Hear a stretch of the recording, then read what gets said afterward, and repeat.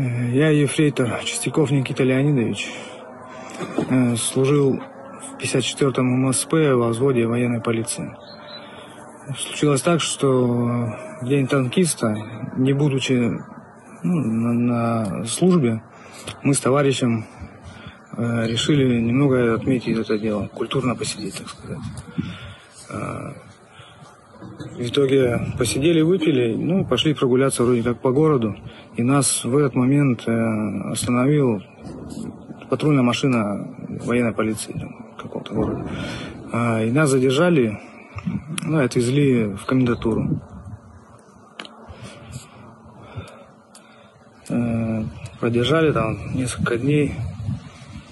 Сказали, стали, нам сказали, что будут готовить документы на перевод э, в какой-то штурмовой э, полк или батальон. Э, потом отвели в другую комнату и ну, пришел какой-то человек, э, сказал, есть возможность как бы не ходить в штурма, нужно там заплатить определенную сумму.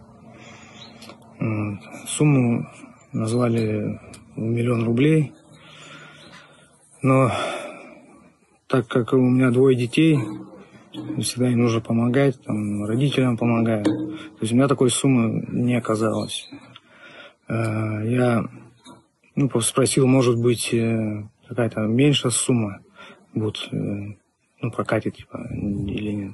Но мне сказали, что эта сумма, этот человек сказал, что не он определяет эту сумму, а вышестоящий там над ним руководитель. Я так подозреваю, что это подполковник Бибиков, начальник штаба 54-го мотострелкового полка.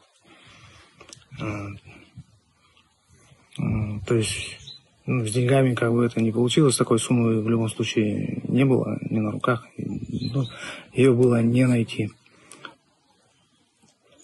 И после меня уже отвезли э, в полк 1307, э, в третий батальон, третья штурмовая рота.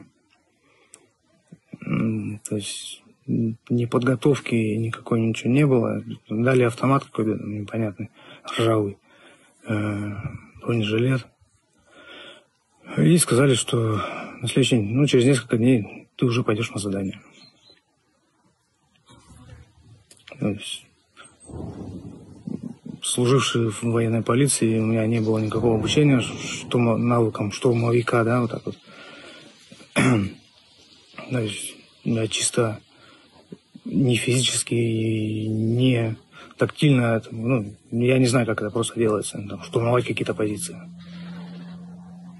Я надеюсь, если вы увидите это видео, ну, как-то поможете решить этот вопрос, э, чтобы ну, либо остаться там в военной полиции.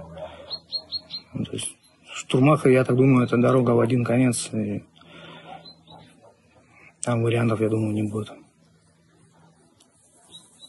Ну, Наверное, вот так.